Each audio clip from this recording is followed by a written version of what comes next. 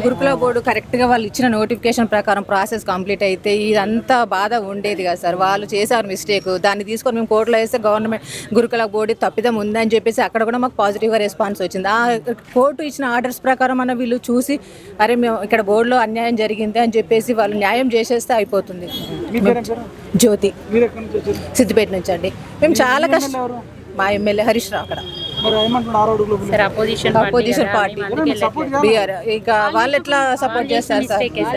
వాళ్ళు చేసిందే కాబట్టి చేయలేదు సార్. చాలా కష్టపడ్డాం సార్. కోచింగ్ లేని పుస్తకాలు ఏంది ఎగ్జామ్స్ టైంలో అయితే నిద్ర లేదు. పుస్తకాలు పక్కన పెట్టుకొని పడుకున్నాం. ఎప్పుడు తిన్నామో తెలియదు ఎప్పుడు పడుకున్నామో తెలియదు అసలు మేము ఎంత కష్టపడ్డామో అసలు చెప్పరా సార్? అంత అంత కష్టపడ్డాం.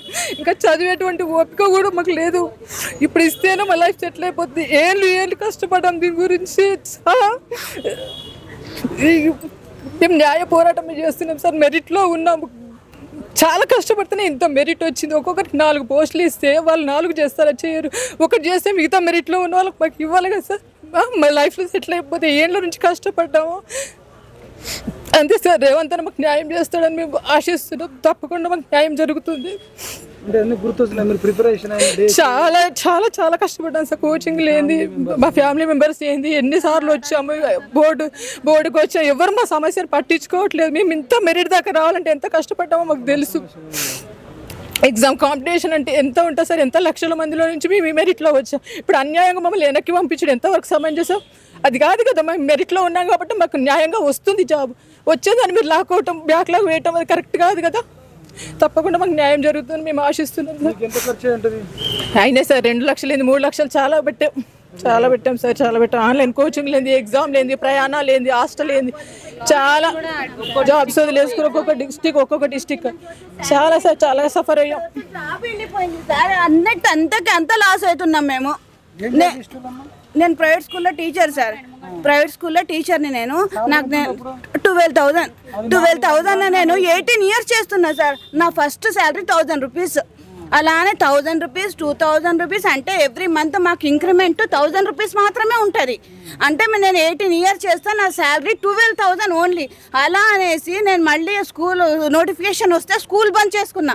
స్కూల్ బంద్ చేసుకొని ఇంట్లో ఉండి హాస్టల్కి వెళ్ళి డబ్బులు కట్టి మనం మేము కోచింగ్ తీసుకునే స్తోమత కూడా లేదు సార్ మాకు. ఇంట్లో కూర్చొని కూర్చొని తీసుకో చదువుకోవాలి. అయితే నేను మళ్ళీ స్కూల్ బంద్ చేసుకున్నా.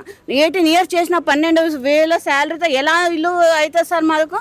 మా సార్ కూడా నైంటీ ఎయిట్ డిఎస్సి క్వాలిఫైడ్ అయిండు జాబ్ రాక అతను అతను అలా ఆగమైపోయిండు అతనికి రాలేదు. సరే నాకైనా వస్తుందేమో అనేసి నేను ఫైవ్ మంత్స్ జాబ్ వదిలిపెట్టుకొని ఇంట్లో కూర్చొని చదువుకుంటే నాకు లైబ్రరీ అని వన్ ఇస్టు టూలో వచ్చింది. వచ్చిన తర్వాత మళ్ళీ ఇప్పుడు జాబ్ రాకుండా పోయింది సార్. ఇప్పుడు తిరుగుతూనే ఉన్నాం తిరుగుతూనే ఉన్నాం. ఎక్కడ ఆఫీస్లో చుట్టూ తిరుగుతూనే ఉన్నాం కానీ ఎక్కడా లేదు సార్. మళ్ళీ ఒక్కొక్క ఎగ్జామ్ ఒక్కొక్క చోట వేసిరి. మాతో పాటు మా హస్బెండ్స్ రావాలి. మేము ఒక్కరికైతే ఒక్కొక్క డిస్టిక్ వెళ్ళలేము కదా సార్. వాళ్ళు మాతో పాటు వాళ్ళు రావాలి వాళ్ళ ఖర్చు మా ఖర్చు చేసింది మళ్ళీ అప్పు.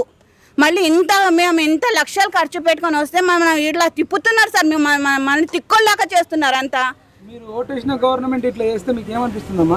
ఏం బాధ అనిపిస్తుంది సార్ ఏమనిపిస్తుంది? ఇప్పుడైనా ఈ చేంజ్ అవుతుందేమో ఆ గవర్నమెంట్ పోయింది కొత్త గవర్నమెంట్ వచ్చింది ఇప్పుడైనా మా బాధ తీరుస్తుందేమో ఈ గవర్నమెంట్ ఇలా చేయదేమో అనుకున్నాం కానీ అన్ని గవర్నమెంట్లు అలానే ఉండిపోయినాయి సార్ మా బాధలు కూడా అలానే ఉండిపోయినాయి.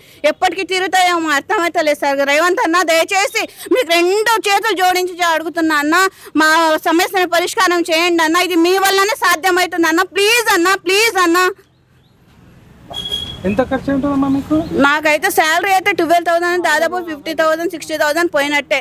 మరి ఆ ఫైవ్ మంత్స్ నేను కవర్ చేయడానికి ఇప్పటికీ బాధపడుతున్నాను ఈరోజు నేను రావడానికి మా అక్క దగ్గర రెండు వేలు ఇప్పించుకొని వచ్చిన సార్. ప్రతిసారి రావడానికి మాకు ఇస్తారా సార్ ఎవరైనా? జాబ్లో కూడా జాయిన్ అవ్వలేదు. ప్రైవేట్ స్కూల్లో నేను school వదిలిపెట్టినప్పుడు one and half monthly salary మధ్యలో వదిలిపెట్టినందుకు నాకు వన్ అండ్ హాఫ్ శాలరీ ఇవ్వలేదు సార్ వాళ్ళు మాకు. నేను వన్పర్తిలో వస్తుంది వన్పర్తి నుంచి వస్తున్నా సార్. వన్పర్తిలో అను స్కూల్లో చేస్తా టూ మంత్స్ శాలరీ ఇవ్వలే నేను. నాకు శాలరీనే ఇవ్వలేదు నాకు. మస్రత్ సార్. మస్రత్.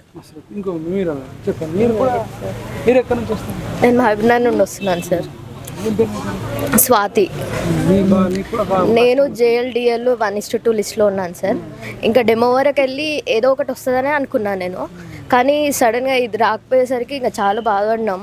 ఇంకా నెక్స్ట్ రిలీ ఈ రిలింక్వెష్మెంట్ ఇస్తే వస్తుంది అని అనుకున్న ఒక హోప్ ఉన్నింది. ఇప్పుడు అది కూడా అసలు ఎవరు రెస్పాండ్ అవ్వట్లేదు అదొకటి ఎగ్జామ్ రాసిన తర్వాత జాబ్ పక్కా వస్తుంది అనుకున్నా సార్. నేను అసలు నాకు చిన్న పాప. డైలీ నైట్ మాకు ఈవినింగ్ ఉండేది ఎగ్జామ్ ఫోర్ టు సిక్స్ అయిపోయేది. అయినా కూడా నైట్ లెవెన్ ట్వెల్వ్ అయినా కూడా వెళ్తుంటే. మేము పాప చిన్న పాప కాబట్టి.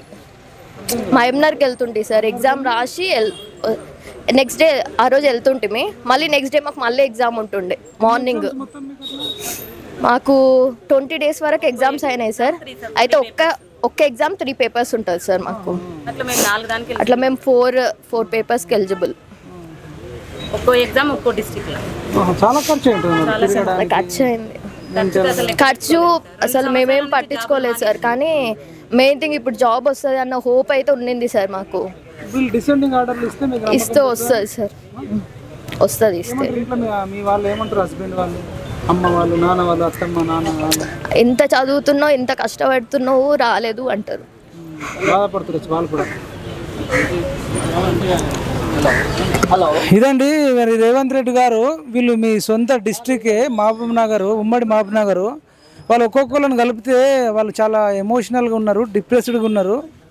వాళ్ళు ఏమంటారు? డిసెండింగ్ ఆర్డర్లో ఏవైతే మూడు వేల జాబ్స్ ఉన్నాయో ఆ జాబ్స్ ఫిల్అప్ చేయండి వచ్చిన వాళ్ళకి వస్తుంది రాని వాళ్ళు కూడా ఇంకో దానికి ప్రిపేర్ అవ్వడము ఇంకొక పని చేసుకోవడము జరుగుతుంది. మీరు అది చేయకుండా వాళ్ళందరూ అమ్మాయిలు ఆడపిల్లలు చాలా ఎమోషనల్గా ఉంటారు సెన్సిటివ్ ఉంటారు. కనీసం ఇప్పుడు విద్యాశాఖ మీ చేతిలోనే ఉన్నట్టుంది. ఓ మరి హోంశాఖ మీ చేతిలోనే ఉన్నట్టుంది. సీఎం పోస్ట్ మీ చేతిలోనే ఉంది. కనీసం మా మంత్రి పదవులన్నా విస్తరణ చేస్తే వాళ్ళనన్నా అడుగుతారు. ఇది ఇంత దారుణం ఇది. కోర్టు చెప్పిన తర్వాత కూడా వినకపోవడం అనేది బల్మూర్ బల్మూరు వెంకటన్న దగ్గరికి వెళ్తున్నట్టు ఆయన దగ్గర ఆయన దగ్గర అథారిటీ ఉంటేనే సంతకం చేస్తాడేమో కానీ ఆయన రిప్రజెంటేషనే ఇవ్వగలుగుతాడు. ఒక్కొక్కళ్ళ స్టోరీ ఒక్కొక్కలాగా ఉంది ఒక్కొక్కరు రెండు మూడు లక్షలు అప్పు చేసి మరి చదువుకున్నాము భర్తకు సమాధానం చెప్పలేకపోతున్నాము అటు అత్తమామలకు సమాధానం చెప్పలేకపోతున్నాం చుట్టుపక్కల ఇంటోళ్ళకు సమాధానం చెప్పలేకపోతున్నామని వాళ్ళు ప్రిపరేషన్ అయిన డేస్ని అన్నింటిని వాళ్ళు పడ్డ స్ట్రగుల్స్ని అన్నింటిని గుర్తు తెచ్చుకుంటున్నారు. కొన్ని లక్షల మంది రాస్తే కొన్ని లక్షల మంది రాస్తే కొన్ని వేల మంది సెలెక్ట్ అయినారు. ఆ మెరిట్ కన్నా మనము వాళ్ళకు విలువనియాలి వాళ్ళకి రెస్పెక్ట్ ఇవ్వాలి. బొగ్గు గనుల కన్నా గోదావరి నదుల కన్నా కలప కన్నా చెట్టుల కన్నా అడవుల కన్నా వజ్రాల కన్నా బంగారం కన్నా అతి విలువైంది మానవ సంపద. అటువంటి మానవ సంపదలు ఇటువంటి మెరిట్ విద్యార్థులే మన తెలంగాణకు కానీ భారతదేశానికి కానీ ముఖ్యమైన సంపద. ఇట్లాంటి సంపదను బాధ పెట్టడము ఏడిపియడం అనేది ఇది ఎట్టి పరిస్థితులలో మంచిది కాదు. వీళ్ళు ప్రతిభ గల విద్యార్థులు. తీన్మార్ మల్లన మీరు బయటకు రావాల్సిందే ప్రశ్నించే గొంతుక. వీళ్ళందరూ కూడా మీకు ఓటేసినని చెప్తున్నారు. అదేవిధంగా ఎమ్మెల్యేలు ఎవరైతే గెలిచిన ఎమ్మెల్యేలు అందరూ కూడా ఈ నిరుద్యోగుల పట్ల ఈ బాధితుల పట్ల మీరు సపోర్ట్ చేయండి. లాస్ట్కు సీఎం చేస్తాడా చేయడాన్ని తర్వాత చూసుకుంటాం కానీ మీరైతే ముందు ఎమ్మెల్యేలు మంత్రులు అయితే సపోర్ట్ చేయవలసిందిగా మేము కోరుకుంటున్నాం.